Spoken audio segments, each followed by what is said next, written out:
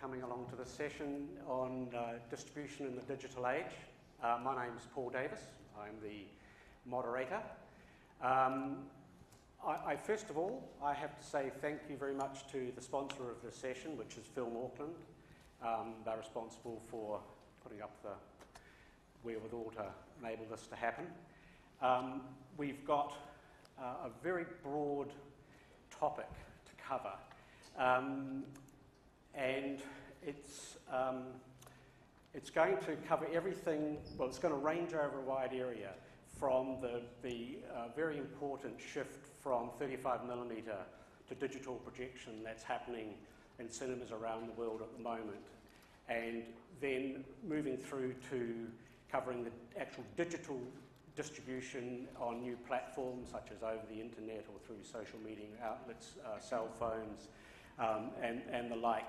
And wrapped around that, of course, is using the new digital media to market films.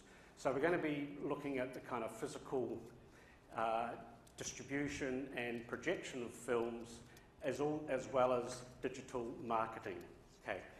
The, the structure to um, give this vast topic some sort of, sort of narrative, we're going to start with two presentations uh, from Jeff and Anna, and Jeff's going to look at um, what's happening, particularly in art house cinemas in New Zealand at the moment, with a lot of statistical information. And Anna is going to be looking at what is called trans media, and that are all the new platforms and how they're all interconnected and ways in which filmmakers should be looking at using these to take their films to a market. So in some ways, even though these are right at the start, they're like two bookends to, the, to what we're doing today. One looking at um, uh, cinema, cinema distribution, which has been around for 100 years and really hasn't changed that much. People still pay money and go and sit in the dark and, and watch a film. Then moving through to what is coming up in the future. And then again, to sort of keep some sort of narrative going, um, we're going to start with James, who from the Film Commission, whose job it is to get films out there and find a dis- distributor.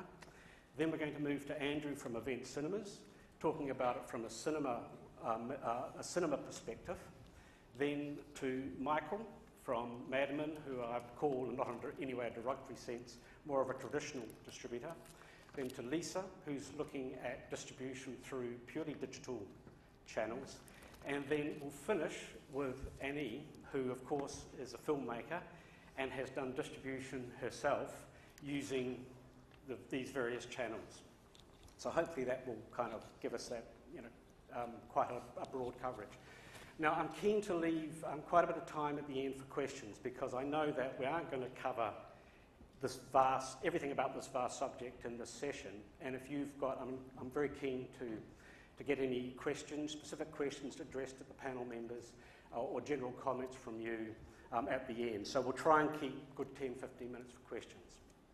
Now, before Jeff starts, um, I just want to ask a question of you. Um, hands up everybody who saw a film festival film at the Civic Theatre during the film festival that's just passed.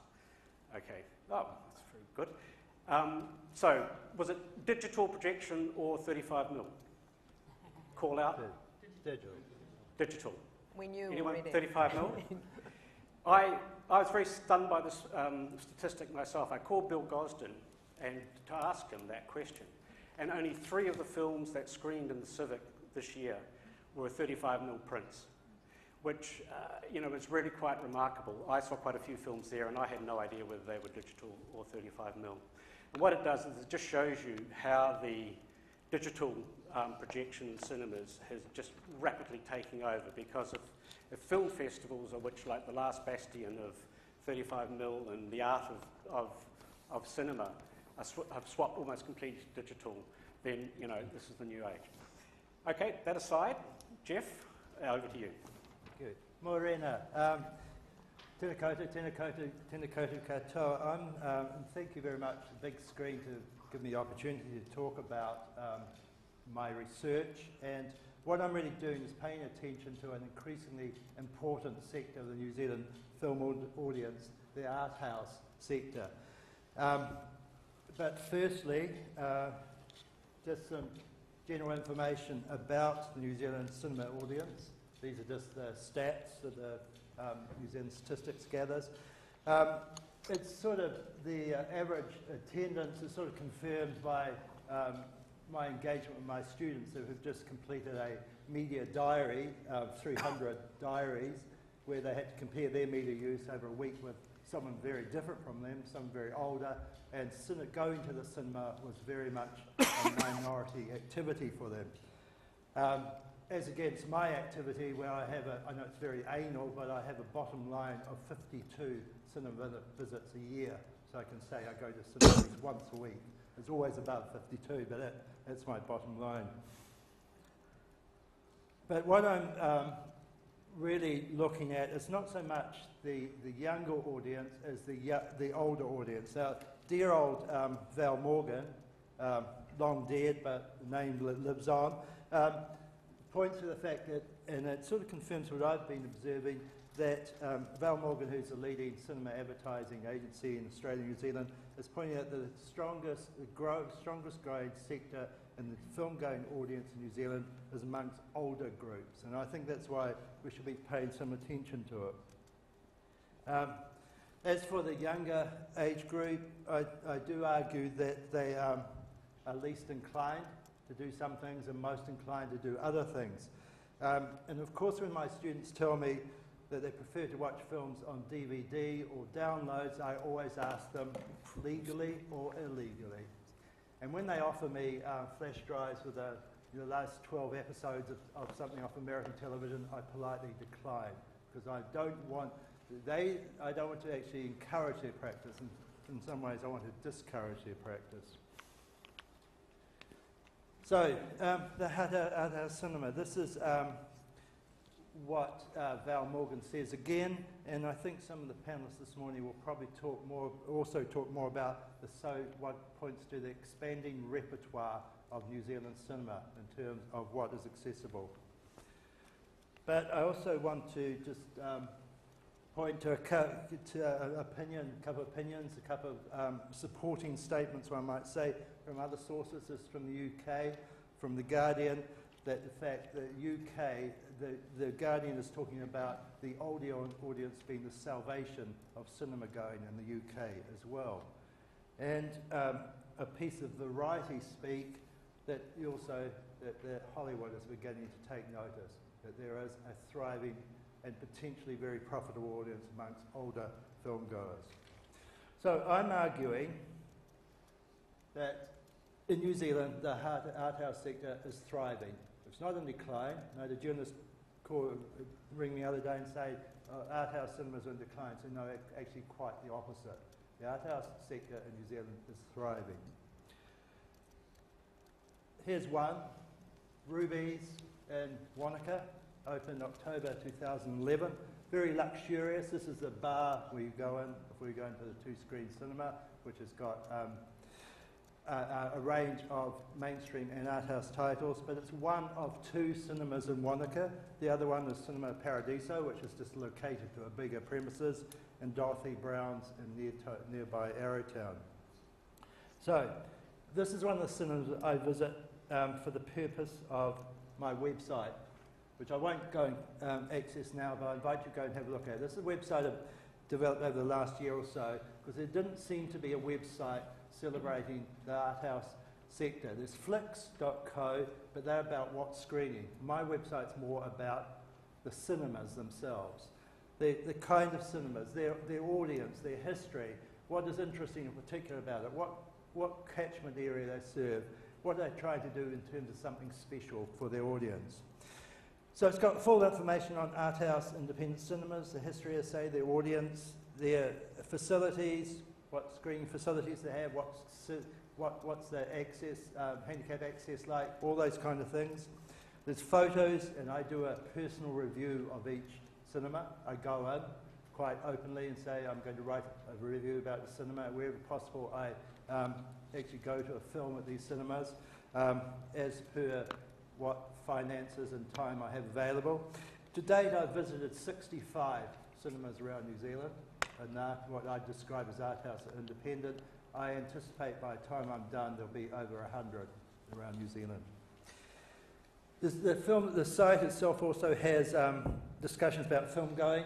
links to information about film going in New Zealand and elsewhere. Um, there's also, because it's a blog, there's also um, quite a dis- healthy discussion by filmmakers and cinema managers who come in and also give their perspective. I know I've got some handouts of the, the front page and the cinema directory if you're interested, if you want a kind of quick look at it. What I'm looking at too is also um, updating information all the time, but adding new cinemas. And it's interesting that I'm adding cin- new cinemas quite regularly. In addition to the ones that um, I've noted here, um, there's Lighthouse in Cuba, Upper Cuba Street and Wigan Street, um, under development. There's new two boutique, screens in the Embassy in Wellington.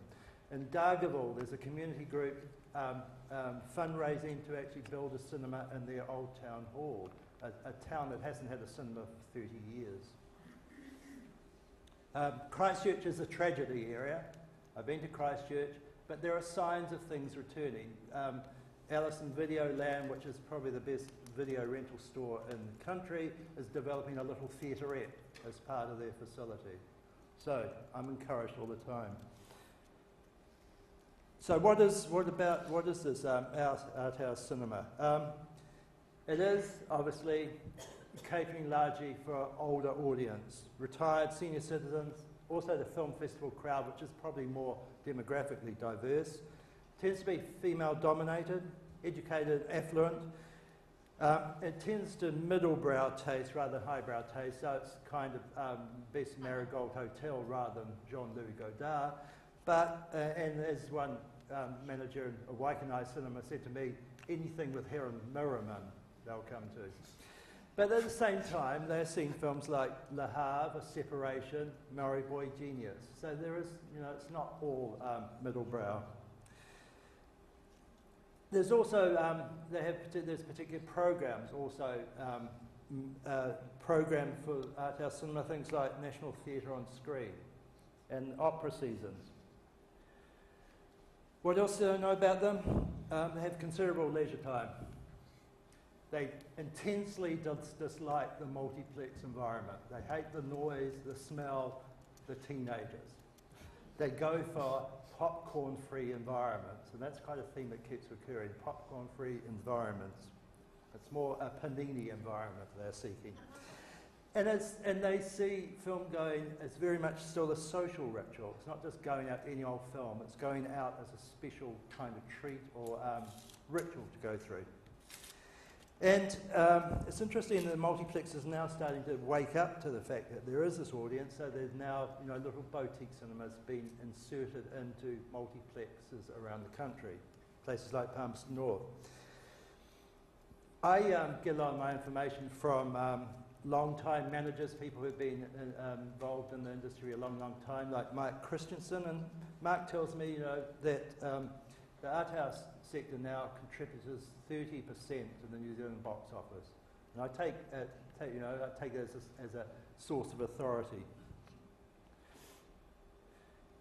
So there are opportunities. Uh, DCP or digital cinema um, packages, and other people will talk about this, have certainly reduced overheads and made um, distribution and much more easier, um, just in terms of weight and freight, but also in terms of labour.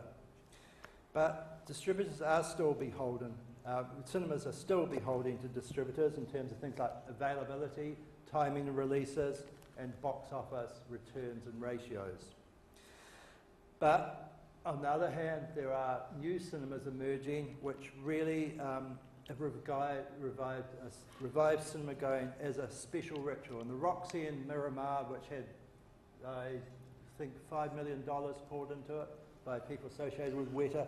It's a place you'd go dress up to go to. It's a really special place. It's dining and cinema, and it's a very much a hoodie-free zone too. You won't see a hoodie in the Roxy. Um, also, I think art house cinemas around the country are now part of the tourist experience, and it's interesting that Tourism New Zealand is actually linked to my site now because they see that as happening. That you go to Wanaka for the snow and the lakes, but at evenings you go to one of the local art house cinemas. Uh, Jeff? Yep. We need to running, just running bit last slide coming up. Um, so there are potentially more outlets for local cinema. Um, But I think there's still some problems and constraints. There's um, power structures involved still with distribution. There's certainly personalities um, and various opinions on distribution, and I counter those in the people I talk to. Some of the small cinemas are really, who still depend on 35 millimetre, are really facing a dilemma in terms of expensive upgrades to digital, DCP, places like Geraldine. How do we get the audience, young audience back to the cinema? How do we stop them downloading? That's a question that we have to address and perhaps address here today. But I guess there's another question is um, the art house cinema uh, generation is thriving, but is the last generation? Will there be another generation coming behind it to replace it? So I end there. Thank you.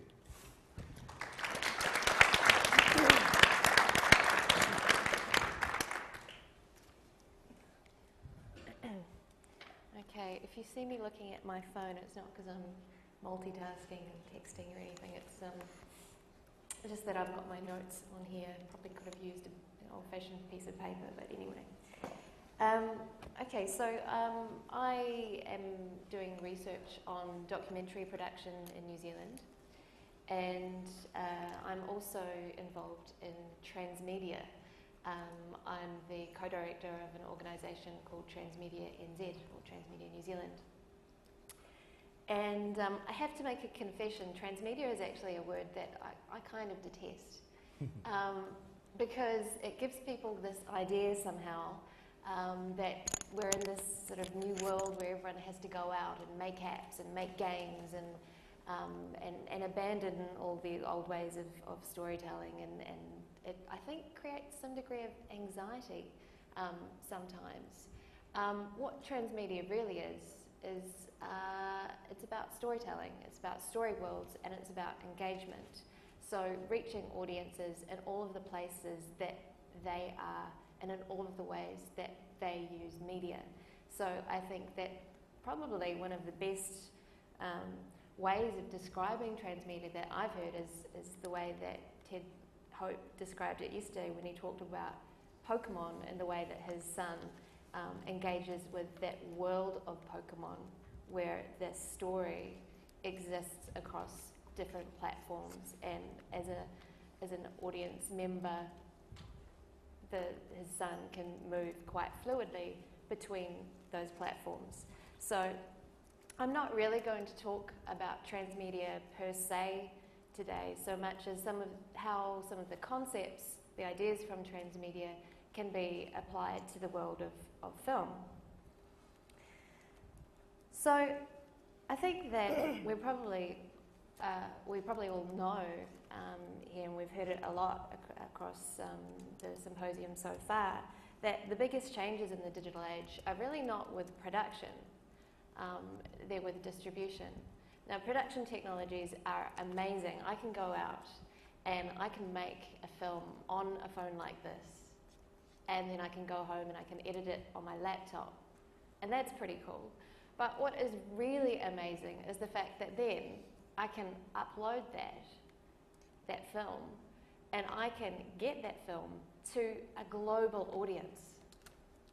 Wow, that's incredible. But actually, it's not that simple.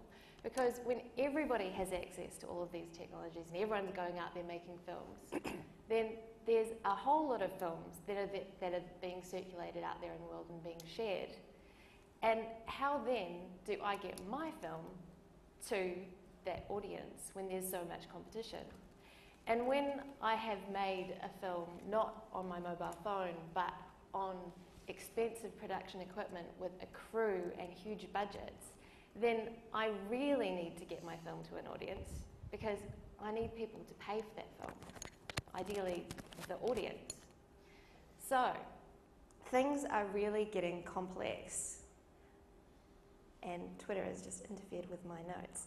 Um, so, in, in the old days, you know, um, he, here's the big shift. You know, when I, when I make a film on, on my fancy phone, essentially it's just a film it, you know, stories themselves haven't changed. Filmmaking isn't that different today than what it was 100 years ago.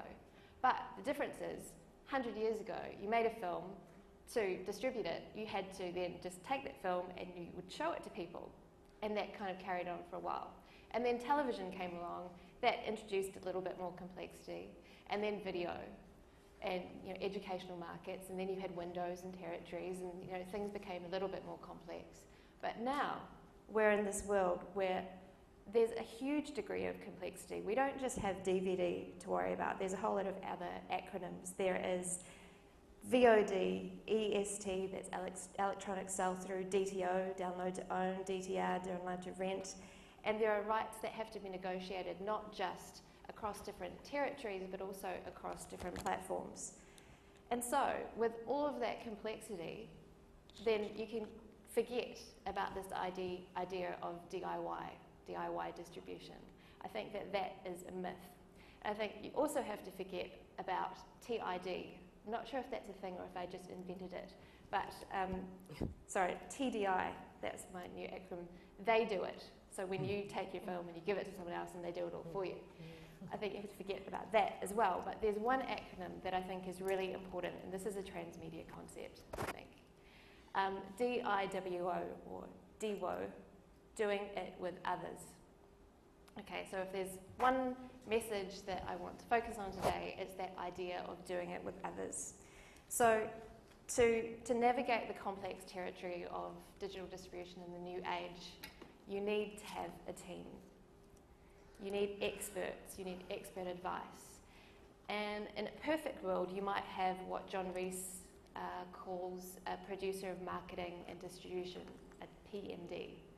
Um, but for, for most of us here in that room, that is probably going to be you for the time being. So you need to take advantage of resources that are out there and look at, look at information. There's a lot of information available, starting with people like Ted Hope and um, there are a lot of tools out there that you can use to help you engage with audiences and navigate this complex territory. So I'm not going to talk about them too much, but I'm going to put a list of links up on the Transmedia NZ blog, so you can, and I'll put my talk up there, and you can have a look at some of those later if you're interested. But there, so I'm, I'm not going to talk about the experts too much, but I'm going to talk about some other others that are really important in that equation of doing it with others, and that is the audience. They are the most important others. So we've come a really long way from that linear model of production, distribution, and consumption. Now we're in an age where that relationship between the filmmaker and the audience is much more immediate and it's much more intimate, and it is really a relationship. Like it or not, it's really more essential now more than ever for filmmakers to engage directly with their audiences. Not just at the delivery point, at the end point, but right at the beginning. Before you even have a film, you need to start building an audience and engaging with them. So the distribution model has really been turned on its head. It used to be that you would make a film and then audiences would pay for it in a way by buying tickets or buying videos and DVDs. Now, with crowdfunding, for example, audiences aren't just paying to see the film, they might actually be paying to make it. But again, crowdfunding is a funny word. I'd like to sort of take the, the F word out of crowdfunding because it's not just about making money, but it is also a distribution and promotional strategy. So, crowdfunding is a strategy that gets audiences to invest more than money. Um, so, when I give money to um, a project on a crowdfunding platform like Indiegogo or Pozible or Pledge Me in New Zealand, which I have done, what I'm doing is I'm starting a relationship with the filmmaker. So I give them some money because I'm interested in the project and I'm passionate about film. And then they start giving me updates about how the project is going. And I will probably start following them on Facebook or Twitter. And they have my details, so I go onto their mailing list. And we start something. And then when the film is ready and it, it goes to a festival or it goes to a cinema, even though I might have, for example, paid for my uh, an advance copy of the DVD, I'm probably still going to pay to see it in the cinema because I'm really interested in this project. And I'm going to tell my friends, and they are going to take my word about this project more than any ad that they might see on a billboard or in a magazine or on television if they even watch television. So, crowdfunding is not something that everyone needs to do, but it's just one example of a strategy for engagement with an audience. And that idea of thinking of the audiences as investors and in turn investing in the audience, giving them some extra value, involving them, making a partnership, thinking of them as collaborators. And I think that in New Zealand, we are starting to move towards understanding this idea of engagement. I noticed at the film festival that a lot of people had websites to promote their film in some way. They have some kind of presence so that they are, they are there.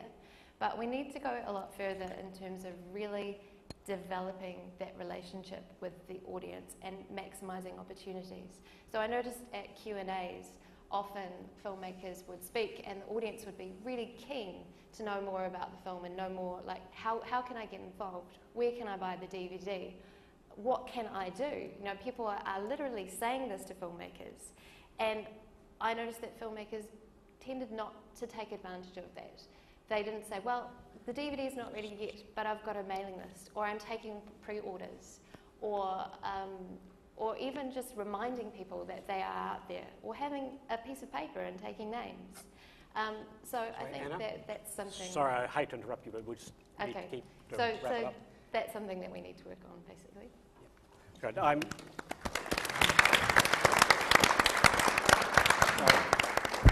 I'm absolutely loath to interrupt uh, because it's such a very interesting. You're really getting getting wound up and getting going, but we've got some great uh, pe- panelists here, and we'll have to keep it moving so everybody gets to get to hear from everybody. Um, before we get on to uh, James, I just want to say that I spent years doing what James does now, and that is trying to sell films at film markets like Cannes.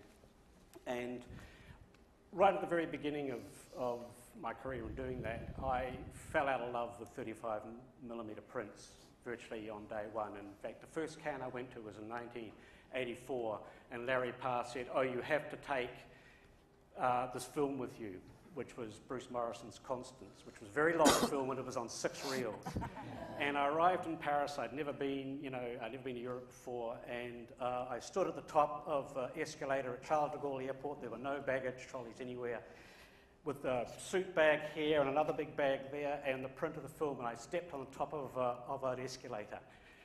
And I thought, what do I do? You know, do I let the film go or do I go? And I had this vision of ending my life there with this film um, at an escalator at uh, Charles de Gaulle Airport. Luckily, I got my balance and I was able to go down.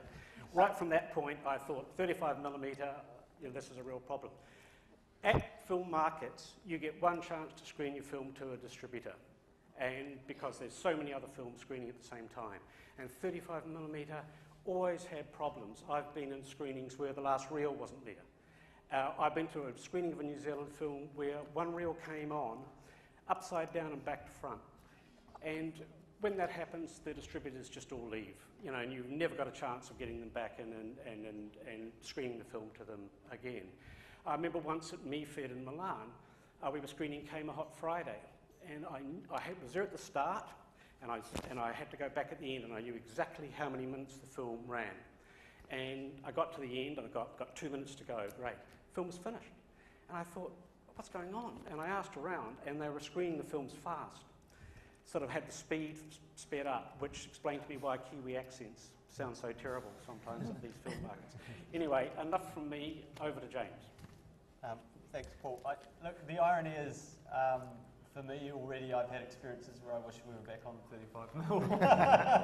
um, this is like this whole session is so so broad, and I'll try and get through as much as I can quickly, so you know everyone can have a say. Um, but yet today, I really want to talk kind of um, about that that very narrow process of taking the film out to market, and whether, as Paul says, that's a, taking it to a, an international film festival or film market, or whether you're taking it out in a local market to theatres um, you know, the, the, the things are still the same. So I want to talk about the practicalities of doing it, but I also quickly want to touch on this whole transition period and actually what that means for you guys in terms of creating films and do you deliver on 35mm or do you deliver digitally or do you do both and, and how do you manage that whole process? So, um, yeah, look, as we all know, traditionally the way of exporting a film in theatres has been um, by a 35mm film print. Um, and I've brought a couple of things along with me today, but to, to get to that 35 mil film print, there's that step process in film always has been where you expose a negative and from that negative you create a, an interpositive. From that interpositive you create a dupe negative or internegative and then you would create positive film prints. And um, you know, I'm sure most of you will have seen something along you know these lines that when those prints get struck, they get done in reels. Um, anything from, you know, as Paul talks about five, six reels, or maybe if we're talking about something like an angel at my table for us, it's like a nine reel film. So um, every film, you know, one single print of a film to run through a 35mm projector could be so high with, you know, nine cans. Um, a wide release in New Zealand not so long ago would be 60 plus prints, 80 plus prints for a film. So already we're sort of taking, let's say six, multiply it by 80, we're talking sort of 350 plus of these reels for every film that gets released. Um, and you know, just off the back of it, you see the, the waste that's involved with that, um, the freight charges. Some of these prints might get screened for a few sessions in a week and get pulled, and that is kind of the end of them. And at the end of this process, of course, unless we move on those used prints to somewhere else, we are talking about basically destroying, you know, all this material. So what we um, are talking about in terms of digital cinema is a move to, and I brought some of the stuff along because we talk about it in terms of concepts, but you never really see it, so it's pretty hard to get your head around, is a move to, to this. So if you can envisage a room with 400 of these cans, as opposed to a hard drive, um, we use the term digital cinema a lot. There's actually a lot of variances within that. Um, some of you may be familiar with the term D-cinema and also E-cinema. Um, D-Cinema, as Jeff has already mentioned, um, there is uh, uh, an acronym DCP, which is a digital cinema package. Some people call this a DCP. It's not. It's a hard drive, but within the hard drive, we've got DCP files in here. Um, a DCP file is basically a file which can play on a DCI compliant projection system, and that's a Digital Cinema Initiative um, projection system which plays either 2K or 4K resolution. And that's a system which all the major studios have basically en- endorsed and set up. So when we're talking about D-Cinema, we're, we're basically talking about, um, you know, taking a DCP and a hard drive, ingesting it into a server and digitally projecting it. Um, E-Cinema, just very quickly, is anything that's kind of that tier below D-Cinema. We're talking about MPEG encoded files, we're talking about Blu-ray, high definition Blu-ray, or even standard definition format DVD, which I've been in cinemas and seen played with the play button coming up on the screen right before I'm about to watch the movie. Um, so, just to cover off, when we're talking about digital cinema, there's all sorts of variations, but what we're talking about in terms of the really the big transition is that shift um, really to um, to D cinema or using DCPs um, in, in theatres, and that's brought a, a, whole kind of wave of complexities as well as advantages. Clearly some of the pros of moving to this process is we are talking about moving one of these around and not, you know, a room full of, of film reels. Um, we're talking about less waste. We're talking about um, greater security. Um, you can actually create a DCP and put it on a hard drive and ship it around unlocked, which means that any theatre can take it, can put it onto their server to play whenever they want to for however long as they want to. But obviously, and particularly for the studios, but of benefit to us all, was this ability to actually um, encrypt those files and make it so that um, a, a theatre can actually only play your film off a DCP if it actually has what we call a key. Um, and in the industry terms, we also call these KDMs. But basically, this is another form of file which can be emailed, it can be supplied on USB to every individual cinema which says the time and the date by which they can access the DCP package to project, and after that period, that's it. They can't actually access that file again. So there's, there's great benefit, um, I think, in terms of security. Um, there's other kind of ancillary things. When we took the Orator, which Mike was involved with, to, to Venice, we had to provide Italian subtitles. Um, we also had to have um, master materials, obviously, which had English subtitles for our local market. You can have both on one of these and you can interchange between them. Um, and I think with a DCP, you can have up to about nine different languages on them, and whoever's got it can switch in between, you know, the ones they want. So if you're going to Cannes or Venice or Berlin, it means that you can create one of these, send it over there, it comes back, and then you can use it for the local release as well. Um, as opposed to print, where you would have to engrave subtitles into the print, um, and then, you know, if you didn't pick up an Italian distributor in Venice, you've just then gone and taken probably a four or five thousand dollar cost and thrown it down the toilet, um, and you can reuse these.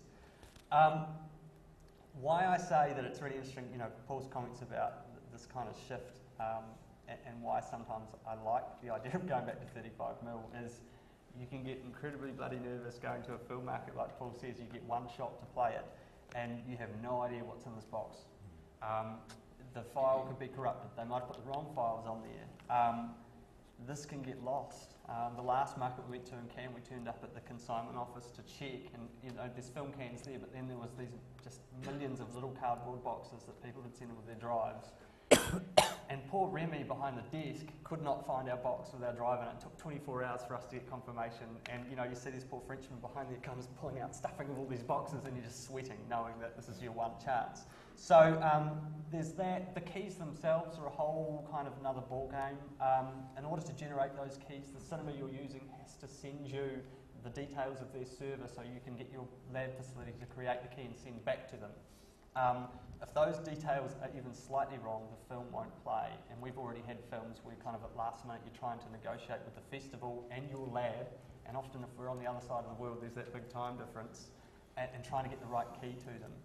Um, so, you know, they're both, they're, you know, there's no doubt that going this way is a tremendous advantage. Um, there is a, a massive uh, capital implication, um, and that has implications uh, particularly for exhibition across the range. You know, for Andy at Event, of course, you know, who are kind of leading the rollout here of digital, you know, that, that's kind of, they've got the capital and the infrastructure to do that. You've got little independent cinemas which are having to find that, you know, I'm guessing it's about 150, 200,000 bucks per projector to put this in. And if you're kind of, you know, if you're in Martinborough, which is kind of a little cinema which isn't far from where I am, that's a big outlay for the people that you get in through the door.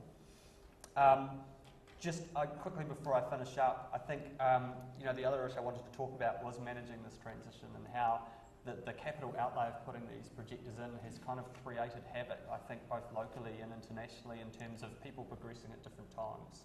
So I know in New Zealand, I think we're up to about 160 of our 410 screens being um, DCI compliant um, projection systems.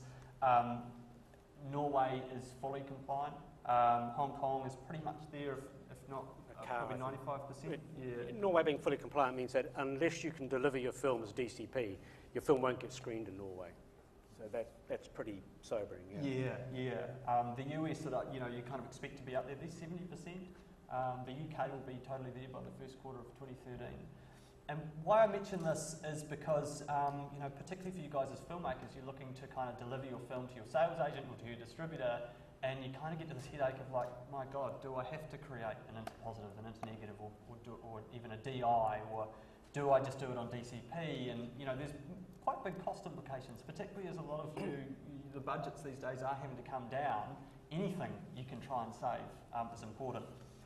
The answer really there at the moment in this period is kind of there is no answer. You need to talk to your distributor and your sales agent and say, okay, is this a genuine theatrical proposition for this film, or is it actually going to be home entertainment?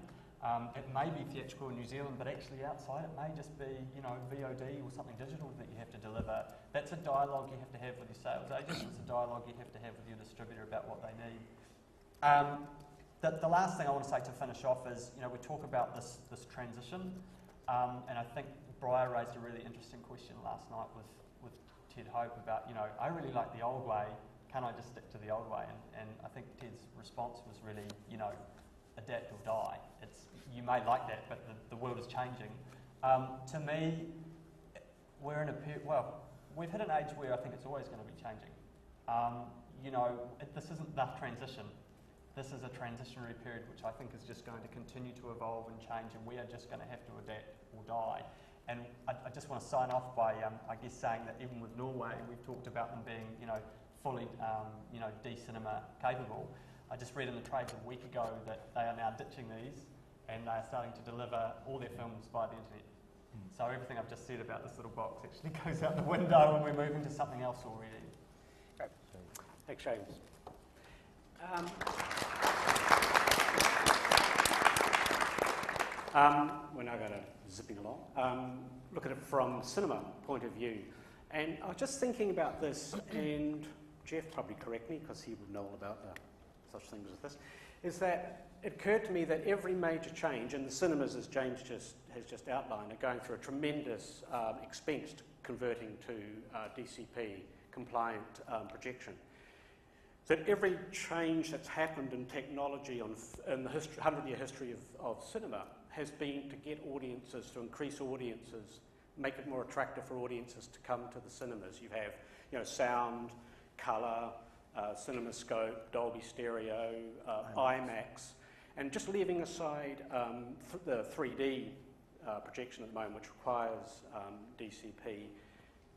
This transition, this tremendous expense, is not being done to attract audiences um, to cinemas at all. In fact, some people might argue that the, the, what they're seeing is, is not as good as 35 mil.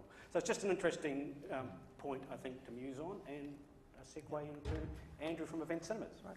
So um, I represent the evil empire. We're all the business side. Um, we only care about money. so that's, that's the brutal truth. That in the end of the day, we um, represent uh, employment. We represent um, the livelihoods of a hell of a lot of people. Probably a lot of you here have worked at a cinema at some time. If you haven't, I really actually recommend that you consider going in and even just um, doing a day's work to see what it's like. Um, the the, the reason why we're an evil empire is that we all actually, everybody involved in our business is very poorly paid. From the top to the bottom, we're not what you expect. We all are in it because we love it. Okay, so that's just a quick overview of, of our mindset that we actually learn everything about filmmaking. The majority of the staff there, you'll find, are extremely passionate. They, they know everything going on with your side of things, they know everything going on with the business, and what they learn is that we learn people's motivations for coming out and seeing films and for what's actually going to bring them in. So, our whole business is problem solving as well. So, we're all about making sure that people are still coming in to see our cinemas. So, the question that, that, that Paul said there, raised there really is why, is why are cinemas internationally moving towards digital distribution? And a large part of it can be answered with automation. That um, with, there is a sense of decline in overall international numbers of people attending cinemas. Um, in terms of filmmakers, that, re- that represents there is a decline in the amount of money that will come through to your film. There is a decline in the number of sessions that you will get for your film. Um, that what cinema, cinema exhibitors are forced to do, whether you're in an art house or you're in a mainstream, is focus on those films that are actually bringing in people. So we're the best of intentions from a bunch of people who love film, who love cinema, who want to supply a really broad range of movies. And I guarantee you that New Zealand has the world's broadest selection of movies on offer at any one time between our art houses and our main and multiplexes. You would be amazed at the comparative. It's absolutely the widest variety of films you will ever see in any one country. Um, that we have that need to reduce costs at, at, all levels to allow us to even show your film, right? And the reality is, a lot of Kiwi films are, are losses in our, in, in our real world. So we've gone digital because it means that we've, we've been able to supply a high quality offer at the lowest cost possible by reducing the number of projectionists that will ultimately be involved, but also increasing the standards of the quality offered that we actually play. So, digital from day one to day 900 is going to be like that premiere print. You know, you're going to walk in at any time and you're going to see it at the same quality. But also, we know that we're going to receive a drive and it's going to play on every single one of our screens. Whereas we might find that we receive one film print, we can only play it on one screen and then it's going to disintegrate in our hands, you know, which has happened. Um, I guess so, so that's sort of an overview. But the, the, for the country, the rollout is extremely expensive and it's being supplemented by what's been called a virtual print fee scheme. Um, so different countries in the world have each negotiated a different way with the studios um, that the territories represent as to how and why we, exhibitors should pay for this equipment that really mo- mostly actually benefits distributors. So distributors um, used to pay for film print. They used to have to pay for, you know, uh, making it in the way that James has said. But, but each individual print could cost a few grand, you know, New Zealand dollars. So to supply 80 prints of brand new film, you know, that's really expensive. So what you get now is a hard drive that, depending on who you are, might cost you a few hundred dollars. And that hard drive, theoretically, could one hard drive could service every cinema if you had the organisational ability to do it. Um, so really, the benefits are all in the distributor level.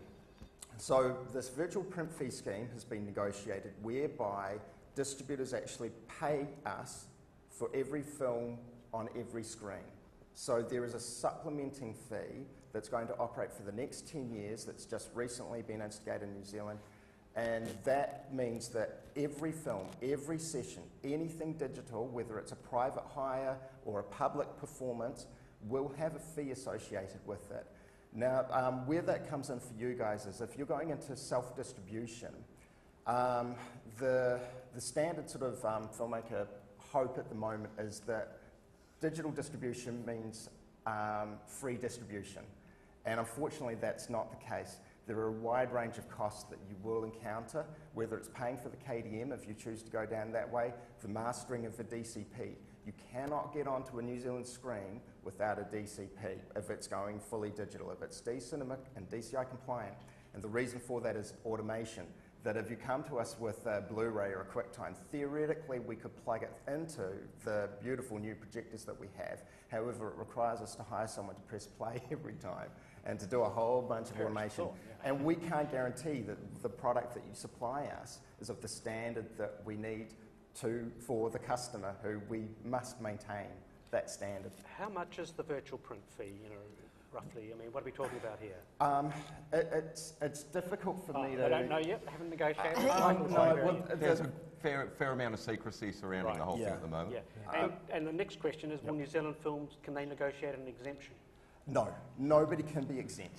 nobody can be exempt. This also includes film festivals, and we're literally discovering day by day at the moment what this, this limits us in doing.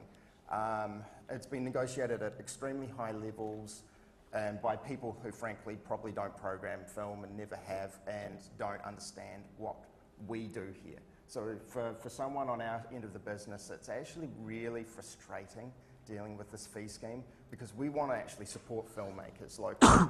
we care, we genuinely care. So we bust our balls to try to make an opportunity for everybody to get their film on screen. Um, this fee scheme, though, isn't damning. It's not the end of the world. It's really just the, it's what it's doing is it's defining if you think that your film is cinema ready, you have to back it with a little bit of money. But you always did. So back in 35 millimeter, this is so much cheaper than 35 mil, right? You won't have anywhere near the cost that you have with 35 mil. So you're already saving money. So we're talking about like uh, fifty dollars a screening or a hundred do- or It- it- it's a $100 scheme- screening or? It's a scheme that works. Um, there are different contracts for every studio. There is a different contract for people who aren't related to a studio. Um, the general thing is that, that you negotiate a fee that will cover you for two weeks. Um, it guarantees you a certain number of sessions. If the exhibitor doesn't supply you with that session number, so we're talking like, let's say, two, two daytime screenings, two evening screenings um, for two weeks, and then that fee will ensure that you get that number of sessions. If they don't come through with the sessions, if they miss one session, you don't pay that fee. Okay? We're going to have to. Yeah, okay. So, I mean, the main thing for you is if you're thinking um, self distribution, you really have to consider the marketing costs that you're going to put in and the fact that this, that this um, DC, uh, that you have to pay a fee, right? And almost every one of the, the dis- exhibitors in the next couple of years we'll be having that scheme because we've all been told that film will not be supplied potentially by this time next year. This time next year, all the major exhibitors will be fully digital most of the independents, that's including. So you'll see inside of a few years, 95% of your screens will probably be D-Cinema. Paul, can Okay. I just quickly, eh, really quickly, the cost of a key is about 45 bucks. Um, and the last market that we went to, they required us to provide 70 keys. Um, so there is actually a cost even around the, the keys for the DCPs. I don't think, Andrew, um, is from an evil empire at all. We've had very good relationships with event cinemas. But there is an interesting thing before we get to Michael. There has been a kind of a uh, subtle or not so subtle shift in the, in the sort of uh, paradigm here because before digital, once the cinema had a 35mm print, it could play it and play it and play it, and until you went round there and actually collected it from and took it away, um, you didn't have any control. With the KDM, you know, particularly the major studios, you're issuing a, uh, a, a, license to screen that film 8 o'clock tonight, and that's it. After that, you can't screen it. So if you owe us money, Mr. Cinema, Mr. Evil Empire, if you don't pay us the money you owe us, then we're not going to issue the KDM, and therefore you can't screen the film. So there is, there is kind of a, has been a shift in the, in the dynamic there, Yeah, isn't it? and to be, uh, just to comment on that, that actually um, really will protect you with the independents a little bit more. Um, you'll get issued with reports. It's all very clear. It's easily accountable. And um, a, a, a, multiplex, it's easy for us to pay you. It's not difficult. We've got all the systems. With um, independents, that was really where you're going to start seeing that little bit of sneaky, did we, didn't we? Right, moving on to Michael um, from Madman. Michael has, is the sort of distributor you want to handle your film. Um, he was responsible for Boy and its phenomenal result here and uh, many other films, including Out of the Blue. Michael, I'm, I'm, i knew this would happen. You know, we're kind of time is is rapidly contracting, so we're going to have to, you know, no worries at all. move fast and leave time for questions. Um, the digital, uh, you know, shift in, in, in my space has been really, really rapid. Um, I reckon 18 months ago I'd never had a DCP print in my hands. Now that's pretty much all that we have. Um, it has changed the, the, the, cost basis of us as distributors. We're not paying the freight, we're not um, paying storage, we're not paying the film vault handling fees for the prints and whatnot. Um, all of that is, is, is a big upside. It's also uh, changed uh, how we go about advertising our movies and the spend into online versus traditional print advertising. That's into a shift. Our media buyers are now telling me I should be mobile phone advertising and stuff. So that's all, um, you know, it, it, it's all in a process of unfolding. Hey, I have a love and hate affair with it. Sometimes I still want the 35mm film because it's not corrupted. You know that it's there. Um, it, it, there's, there's not the, the, the technical hiccups that uh, we sometimes get with digital, um, but we're slowly ironing those out, I think, you know, as, as more of the DCPs come through and everyone gets a bit more of an understanding with, um, with, with, with how they work. I guess the best thing um, with, the, uh, with the digital distribution is the ability for us as distributors to expand a film very, very quickly. And um, The Orator was an excellent case in point because we put it into Andy's theatre down in Manukau and the Samoan audience went absolutely bananas for it. And I mean, there was not a spare seat. And in the space of a day, those guys had like got it playing in multiple theatres in that complex and we'd got it into other complexes very, very, very quickly without having to strike all the prints and all the rest of it. You know, it was, it was literally an overnight thing. So we could respond to the, uh, to the audience. The VPF um, arrangement is very new. Um, the agreement, I think, came into effect August 1. Yep. Um, with the major circuits. So, uh, Madman, who is a member of the Australian Independent Distributors Association, AIDA, AIDA's signed an agreement that covers Event, Hoyts, cinemas here, and Reading are in it too, I think? Um, not yet. Okay. There's another agree- a separate agreement under negotiation at the moment with the collective independent cinemas in New Zealand. And um, hey, as these guys just said, it uh, means that we distributors pay a fee to play in that digital screen. Um, there's a different schedule of fees for if a film comes in uh, subsequent to the first week of release. Okay, there's a different schedule of fees for alternate content, operas, ballets, theatres, all that sort of stuff the document is like seriously sick. I've not read to the end of it yet. And, and, and it, hey, it's, it's, it's really new for all of us, and we're working out how, how it's going to pan out. I mean, I think personally that 10 years at the levels of fee that we're talking about, we're more than paying for all the projectors. But hey, there are upgrades. You know, I mean, um, Peter Jackson's 48 frame rate, that needs a bolt-on, you know, upgrade into your projector. Um, three, you know, they're, they're, they're forever um, updating the security and whatnot. It, you know, it's, it's, uh, it's, it's, it's here to stay. Um, the digital space, I mean, you know, it hasn't, um, it, it, it hasn't changed our audiences. You know, it's changed what, uh, what we can offer audiences with the 3D and the 48 frame rate, but, you know, we still ask the same question of films when, when we first see films or we read scripts. You know, it's, we still ask, does that film know its audience? And, you know, we define, um, you know, the picture and still largely, um, you know, still go about it the same way. I guess a, a, a, big shift is in our is in our marketing ability through the social media. I mean, that's becoming very powerful. Uh, I don't think Madman have it absolutely nailed how we engage with with with, with people who are into our brand. Um, but you know, it's it's um, hey, you know we're, we're we're learning as we go along, as I guess we all are. Um, you know, in this space. I'll hand it over to the next.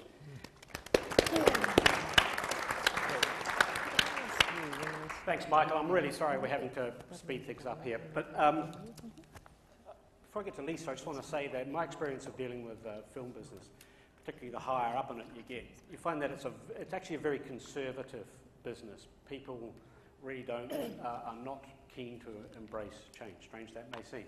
And I think the real reason for that is that people are very scared of their jobs. You know, no one in a, in a in an American studio is actually going to put their neck out and say, let's, hey, let's do this, it's completely new, we'll be the first to do it, because if it doesn't work, you know, they're out, they're out the door. So if you're somebody who's trying to convince people to uh, embrace something new, you know, you really are a, uh, a pioneer and everything that, that goes with that. That's my introduction to Lisa, who's, as you tell from her voice, she's American, but she's a resident. How long have you been resident here now? Uh, two and a half years. Yeah, and has very long and distinguished career in the States and um, is involved in exploring new distribution channels? Yeah, I want to talk about um, North America and uh, digital distribution in a little bit of a different way. Um, primarily the kind of um, paying a fee in order to uh, stream or download content in North America from uh, a video on demand service like a cable satellite um, service such as DirecTV or electronic sell through, which is an internet servicing like uh, Amazon Instant Video or iTunes. No use of physical media, DVDs, that kind of thing. Um, viewed on your television, on um, personal computer, on a tablet, or even on a smartphone. Um, could be subscription based, could be transactional, which is just you know buying a, a one-time uh, download or streaming of the content. So, in talking about the new way forward, which is um, our theme in the symposium, the future of, of media distribution is digital and the future is now. This is going on uh, very currently in uh, North America. And uh, it's a growth industry, it's very dynamic and rapidly changing. Americans now spend an average of $166 a month on digital downloads, uh, according to Variety magazine in May. Four in 10 U.S. adults are paying to download entertainment. One in five Americans have a connected television where they can, you know, basically push a button to uh, download your film. Uh, 21% of Americans download movie and television content, and with a population of 314 million, that's 66 million people that are uh, downloading video content. Uh, and we're not even talking about Canada. Um, one in four tablet users are accessing video content. Um, I've, I've read that in by 2014, 240 million smartphone users worldwide will be accessing video content. Uh, so, in terms of the North American um, digital sales industry, this year has been very profitable. Electronic sell-through is up 22%, and video on demand is up 11.6%. Uh, beginning in 2011, really, home entertainment in the U.S. is back, um, and it's on the um, heels of these kinds of services. In contrast, physical media uh, is declining. DVDs, Blu-ray sales um, are down 33% from last year. The rental business is in decline, uh, everything except for kiosk, which is kind of a, an area that seems to still be doing well with DVDs. Warner Brothers has shut down their direct-to-video um, division, in fact, um, putting all of their eggs in uh, this kind of digital distribution. So it's really something to consider as a, a new way forward. Uh, and what I wanted to do was to just give you my um, personal top 10 tips for New Zealand filmmakers interested in North American distribution. And here's number one do believe that your film can be sold in North America. Uh, I find that there's an overemphasis on domestic distribution uh, in New Zealand, and that filmmakers are told, and that many accept, that their films are destined to be only shown in uh, New Zealand. But uh, e- even Parliament, you know, is talking about supporting the arts and film um, for New Zealanders. But uh, there are New Zealand films, despite New Zealand content, that are appealing to a worldwide audience. Um, Ted Hope was talking about niche audiences uh, in the United States. It's really a U.S. kind of concept because you've got to have a lot of people to divide up into different audiences. But um, do believe that there are people that will be interested in your content.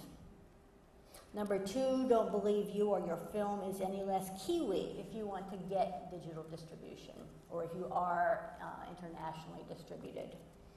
Um, I think the, the New Zealand content funding imperative, the privileging of uh, national cinema here, or the word used at the symposium a lot has been local cinema, um, can be a disservice to filmmakers if it makes filmmakers believe that they are not, their films are not accessible or of interest to a worldwide audience. Digital distribution makes it more open than ever before. Number three, don't confuse film festival screenings with distribution.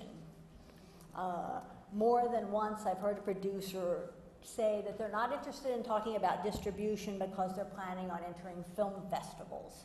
Um, you go to film festivals to find a distributor. It's not a substitution for um, finding a distributor. Um, I, I, understand that people want to take an overseas trip and see how it plays in a screening um, with festivals, but do remember film festivals cost money, distribution makes money. Number four, don't not explore distribution because you want to go to film festivals. Not all international film festivals will mind if you already have a distribution deal, especially if your film is not in release in that territory. Don't wait until after attending the film festivals to talk to distributors. They may be willing to hold back uh, releases until you do the film festival that you want to do. Uh, your film is only new once, and the clock is ticking. Um, despite the fact that yesterday we heard, uh, oh, well, people will be seeing your film, you know, 10 years from now, so don't worry. I would say you need to act fairly rapidly when you have a new product. That's what people are looking for, that's what buyers want. Number five, don't upload your whole film to view on the internet for free.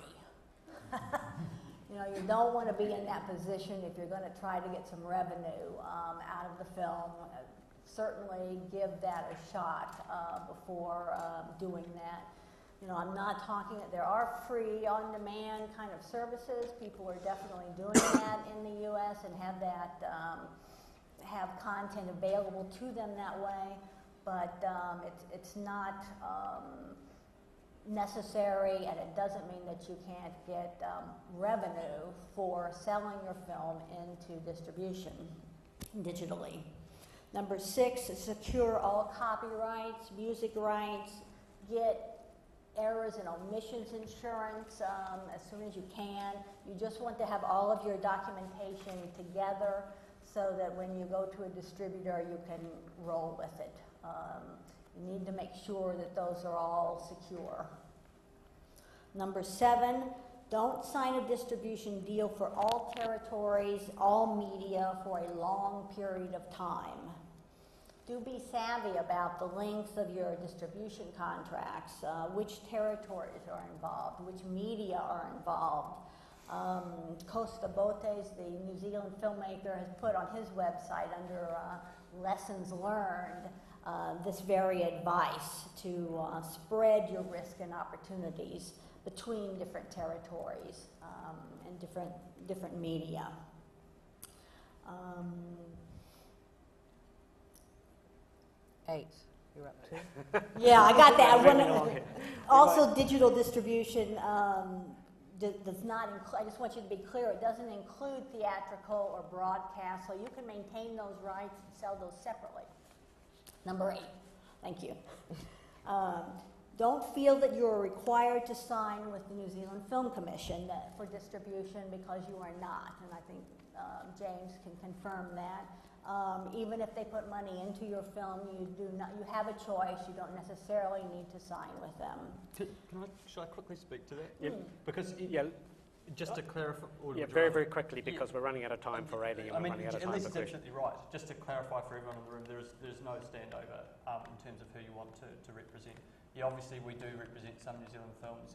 You can absolutely come to us with another agent. Um, you, you, part of it, we just have to make sure that if there's a high level of investment from the Right. commission, that we're happy with that. Right. But Okay, sorry, you're going to have to um, fire these last two out and, and uh, Number nine, don't automatically assume a distributor is looking to rip you off.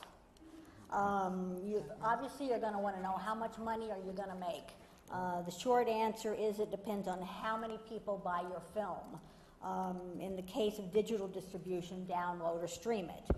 Vendors such as DirecTV, Amazon Instant Video, iTunes will take a fee. They deserve a fee. They're providing a service. Uh, could be, um, you know, even around uh, 70%. But um, the distributor will also ask for possibly um, 20 to 40 percent on average, you will find. But that still leaves you, for your part of what you're entitled to, 60 to 80 percent. And we're talking about a lot of people and a lot of downloads. Finally, number 10, run all contracts by an attorney, the best money you can spend. Right. You should, see about, they're, they're fantastic points. I mean, I agree with all of those, um, apart from perish the thought that a distributor might rip you off. I mean, how would you possibly think that? Um, but we should try and get them on the website or whatever, that people couldn't have those. Annie, I'm, I'm not even going to introduce you, go straight into it. Okay. I'm actually going to call on my um, DIYWO, do it with others, Anna. Anna's going to um, bring up a website that I have built. Kia ora tato, good to see you all, lots of um, familiar faces. Um, just reflecting on today's panel and also the um, events I managed to go to yesterday, it seems two of the lessons repeated at this event is first how to be cognizant of distribution while you're in production as filmmakers. So be thinking about distribution, which I think is tedious, you know, in some ways. There's so many demands while you're in production. To think about distribution while you're actually trying to make the film is like another level of exhaustion in a sense. And I think a lot of filmmakers relate to that. But the other one, the other way is um, so, and to do this, I think, if this is today's reality, one way is to build a digital presence um, that's appropriate to your particular film, and I think we need to think appropriate here. And the other way, I think, is to think about flexibility, how to provide a film that could range, could satisfy a range of markets. Now, I'm talking obviously of something that pertains to documentary, where broadcast and educational outreach is a good possibility and a greater possibility.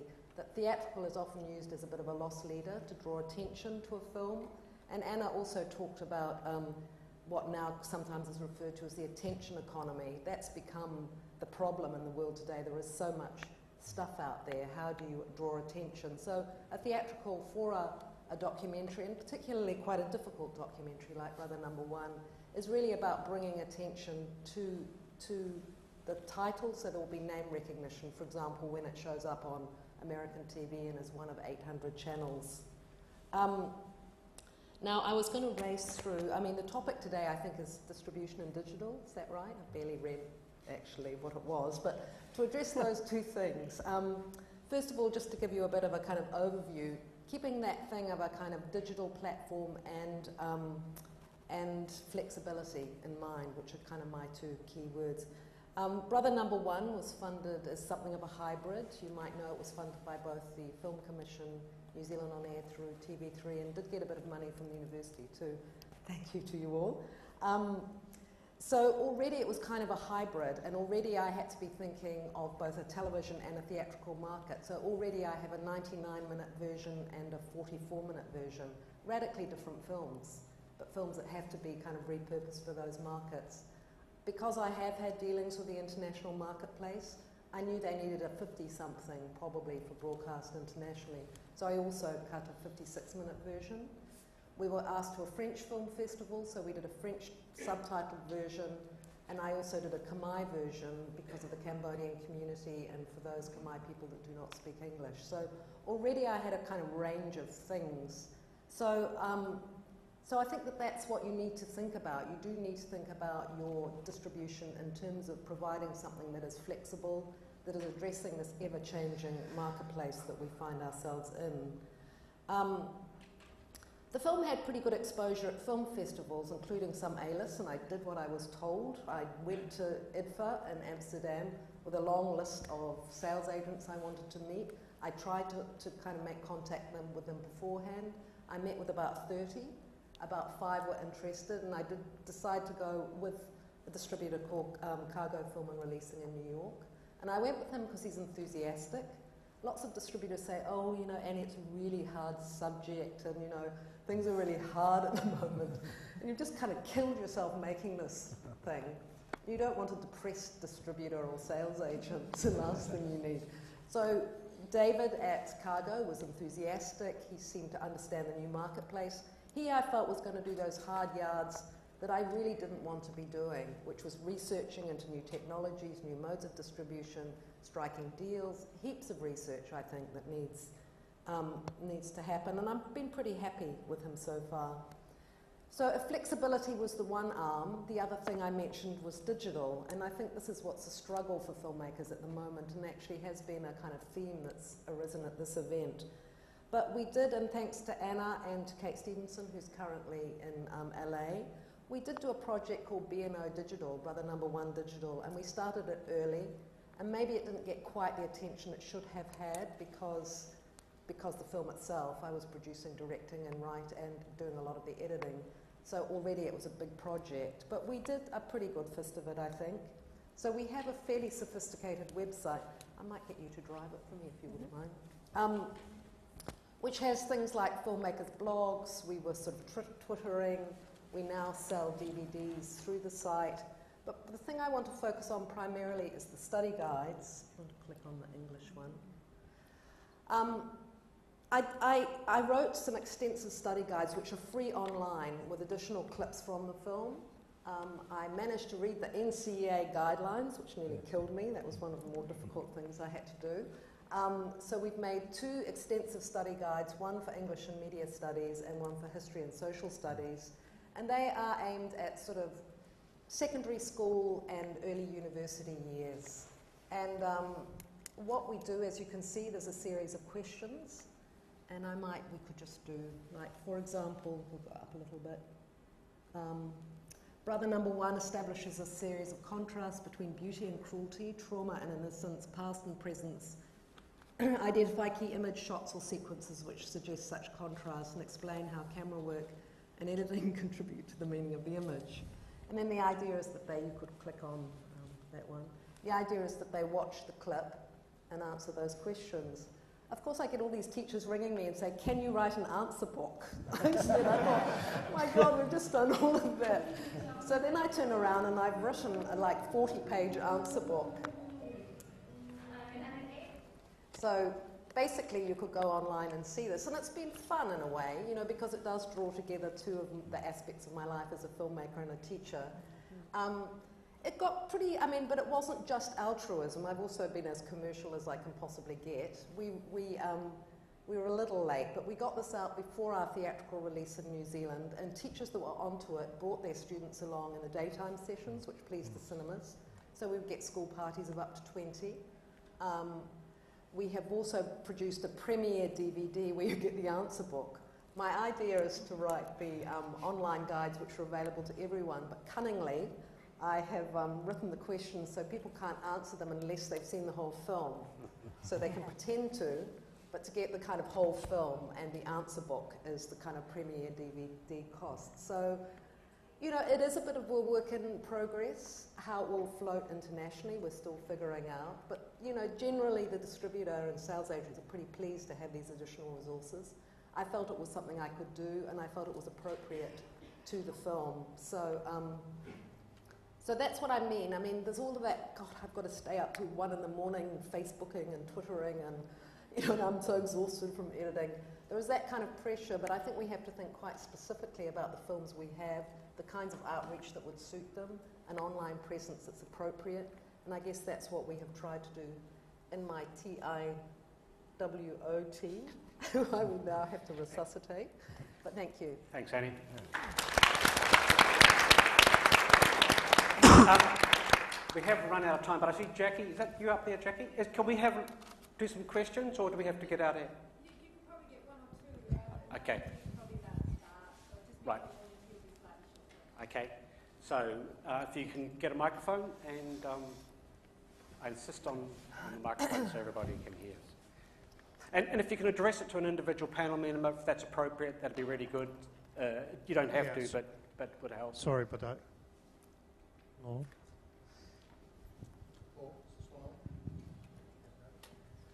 Hi, I'm Chris Ferber from EIT Hawke's Bay. Uh, I just want to know, uh, with the DCP uh, uh, hitting the cinemas, is there still a chance for people to show their individual films when they can't afford to have it encoded in those systems? Um, it's yes, yes and no. Like it, there's a, it's going to depend on your local cinema. Um, we at event, I can speak for event primarily. We can, um, we're looking to provide a, a- keep a 35 millimeter offer in every location that we can. Um, the reality is, is that you actually have very limited amount of space in most projection booths. So to try to put in a full size D cinema offer beside a 35 Let me clarify. Difficult. Other, other digital input. Other digital input. Um, yes, if you're looking to do that, um, I, there are costs. There are probably still some costs. Yes, um, so most independents will still maintain an e-cinema offer. Um, e-cinema is perfect for that kind of content.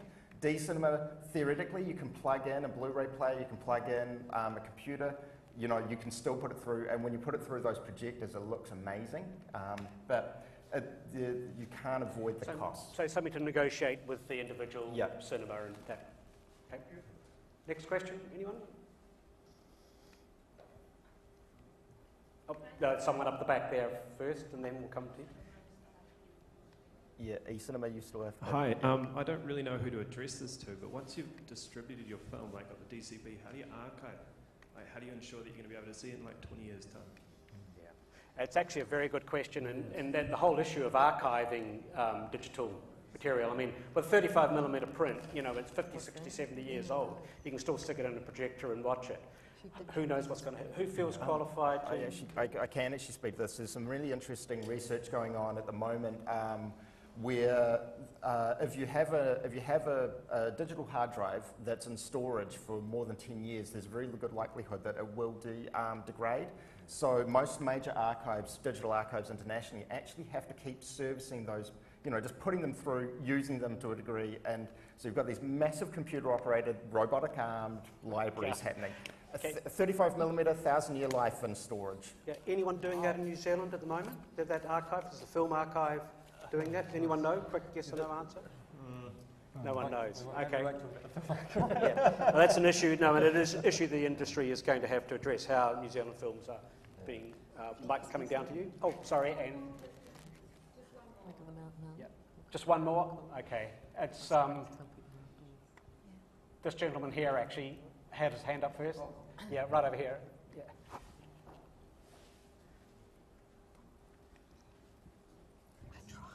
Um, this is more of a general distribution question, but something I've been thinking a lot about the last six months. There's been some really good local films come out that no one has gone to see at the movies. And then you've had all these signature dramas on TV1 which have done amazingly. But, you know, as a filmmaker, I'd go, well, they're TV movies. I don't want to make TV movies. But I'd rather make a TV movie if I could guarantee half a million people watching it on a Sunday night. So how do we bridge that gap as you know filmmakers making you know art? Okay.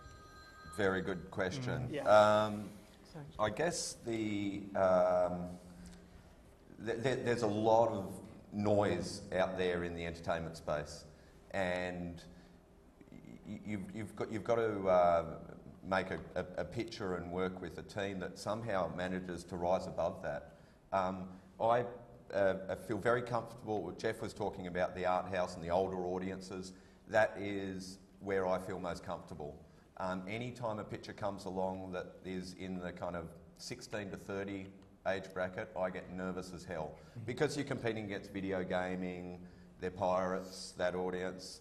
They haven't got a lot of money. Do you know what I mean? You could have TV campaigns to get at that demographic. absolutely, yeah. So um, uh, all my buddies think it- it's boring as hell that most of the movies I do are like French, you know, comedies, and we do a fair amount of documentary stuff now. Um, so, you know, I gravitate towards that that sort of audience. And, and Annie, Yeah. Annie was saying, um, you know, it's difficult to think about distribution when you're making a film, but you should certainly be thinking about who you want to go and see it. Um, and strike it, you know, strike it, strike it accordingly. But there's a strange irony at the moment, which the budgets for those telemovies are much more than the budgets that are being proposed for cinema. And I would love to see more initiative. And you know, every so often we hear rumblings about funders getting together and collaborating in a kind of more for Channel Four kind of way.